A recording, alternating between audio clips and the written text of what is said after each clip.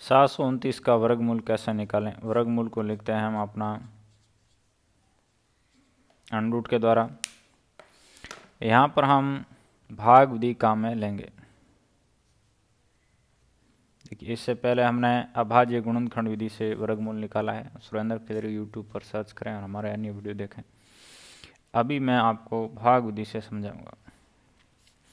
इस विधि में करना क्या है? हमें राइट हैंड साइड से लेफ़्ट हैंड साइड की ओर आगे बढ़ते हुए दो अंकों को साथ लेना है अंडरलाइन फिर आगे में एक अंक की संख्या आ गया कितना? सात।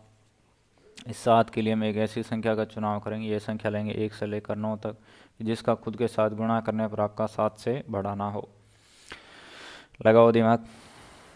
तो हमने सात के लिए जैसे संख्या लिया ट्राई के लिए दो गुणा दो जितना रहा चार, बड़ा नहीं है। जैसे आगे तीन गुणा तीन कितना गया? नौ। ये सात से बड़ा है तो हमने इसको नहीं लिया। किसको लिया? दो गुणा दो को कितना आ रहा है? चार। जिस संख्या को लेंगे, एक बार यहाँ ऊपर लिख देंगे। अगले स्टेप में इसको जोड़ना है और इसको घटाना है। ऊपर से जो दो अंक हमने अंडरलाइन कर रखे हैं, उसको यहाँ नीचे ले आएँगे। अब लगाओ दिमाग, यहाँ पे थोड़ा सा आपको अलग करना है। क्या अलग करना है? जैसे यहाँ संख्या लिया, खुद के साथ गुणा किया, ठीक वैसे ही इसके साथ संख्या लेंगे और उसी का गुणा करेंगे। जैसे सात लिया, सात का गुणा किया। कितना आ रहा है?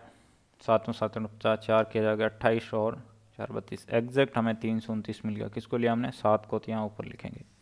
उसके बाद इसको घटाना होता है, ज़ीरो आ गया। यह जो आपका निकला कितना? Twenty seven. यह सात सौ उनतीस का वर्गमूल है।